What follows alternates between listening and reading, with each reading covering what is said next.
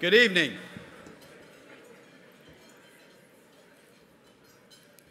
As many of you know, for the past 35 years, Human Rights First has had the most extensive asylum representation program in the country.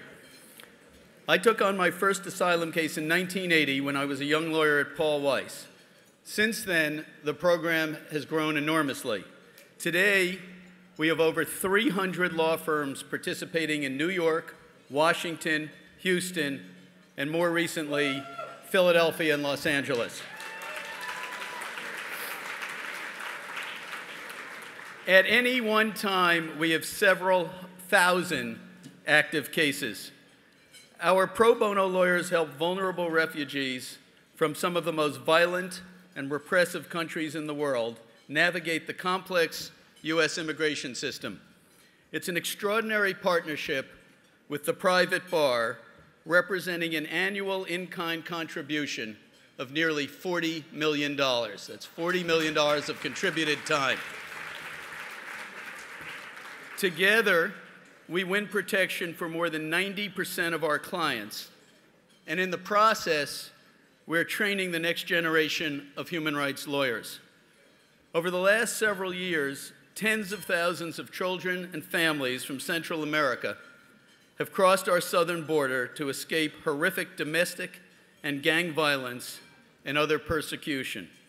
Human Rights First responded to this enormous need by documenting the problems, proposing policy solutions, and increasing our staff in Texas, Washington, and New York. Many firms, many firms in this room stepped up to help address this crisis. Three firms went above and beyond the call of duty, and tonight we recognize them with our Frankel Award, named in honor of our longtime board chair, the late Judge Marvin Frankel.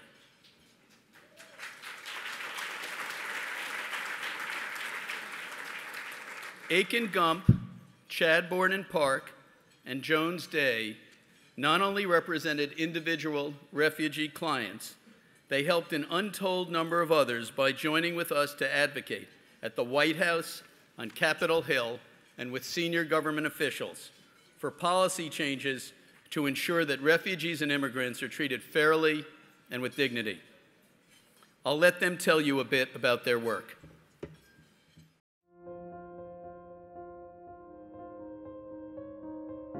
When we first learned in the summer of 2014 about the government's plans to create expedited dockets for removal of both unaccompanied children and adults with children, we knew we had to do something.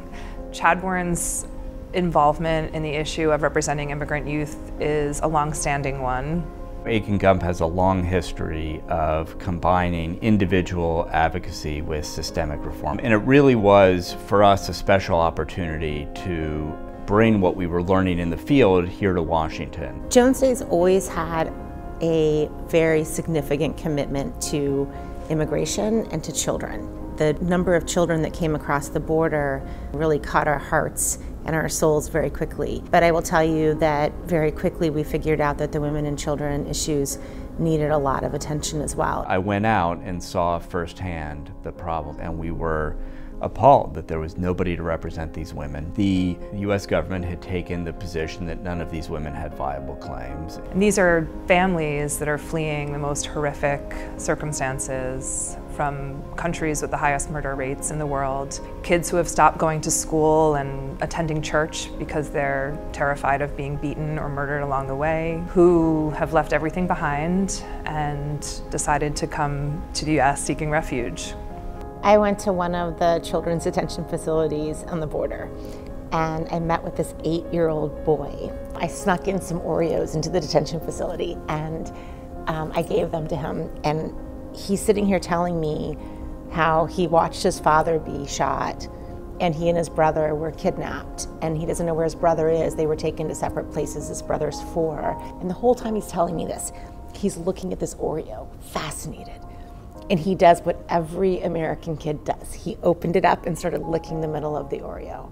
And it broke my heart. I just watching him enjoy something so fundamental. The clients we work with, their courage and their resilience is humbling and inspiring, and there's no way to do that work without being changed by it.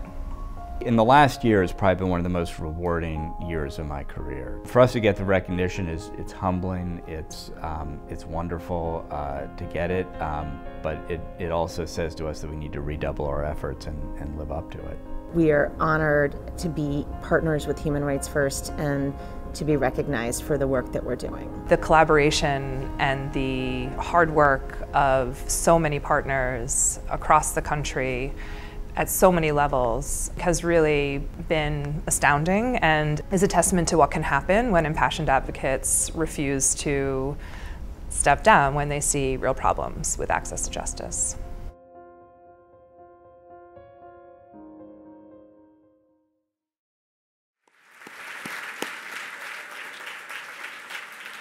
Please, please join me, as you already have, in congratulating these law firms and their pro bono leaders, a group of deeply compassionate and dedicated advocates. Maureen Shad, of Chadbourne Parke.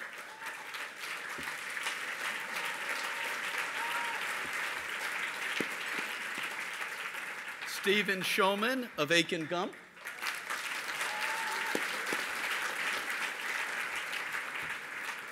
And Laura Parcher, Laura Parcher of Jones Day. Congratulations.